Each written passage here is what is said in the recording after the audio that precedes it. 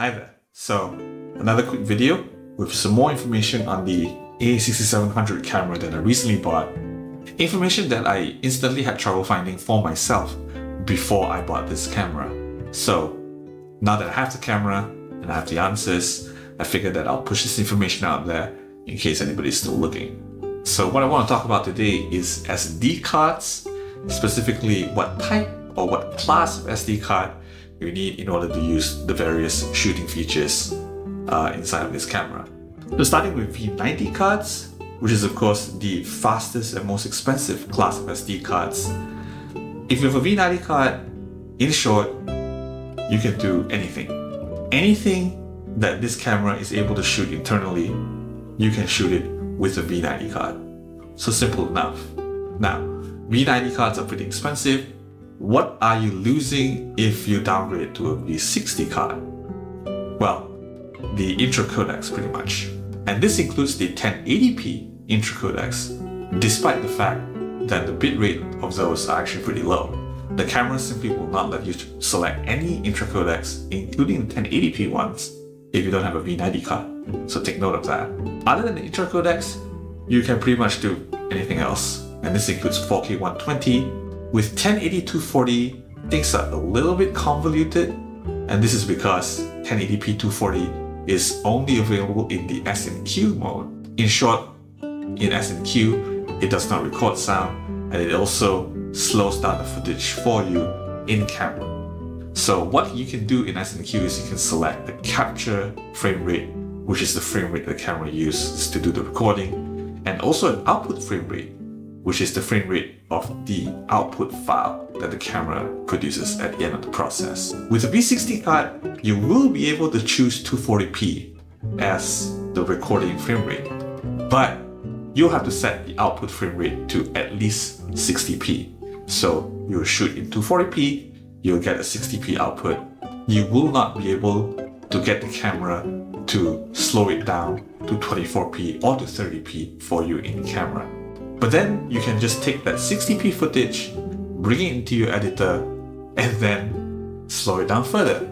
Bring it down a further 2.5 times to 24p, and you will still be able to get the full 10 times slow motion if that's what you're after.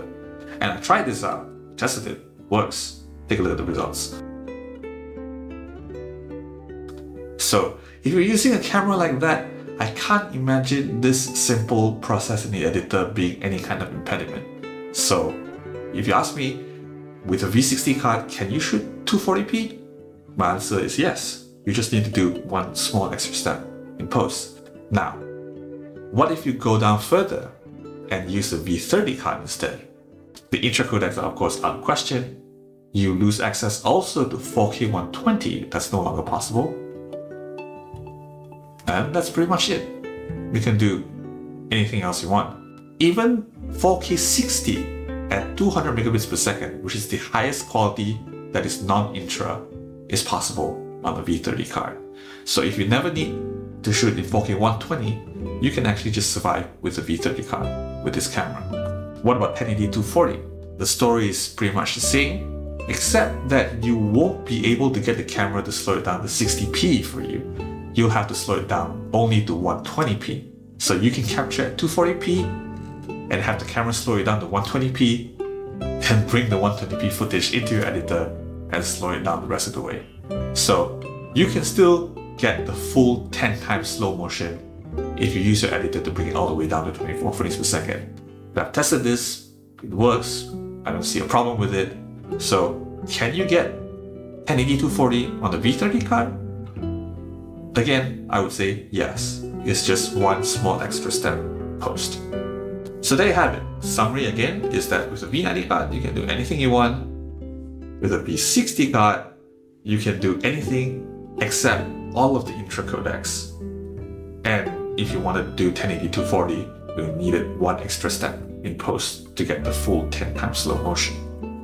And with the V30 card, you won't have the intra codecs, you'll also lose access to 4K 120, but you would do everything else. And that includes 1080 240, again with that extra step in post to get the full 10 times slow motion. Hopefully that's useful to somebody out there. This was information I was looking for.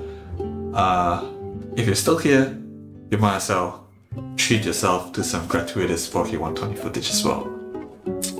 Thank you for watching.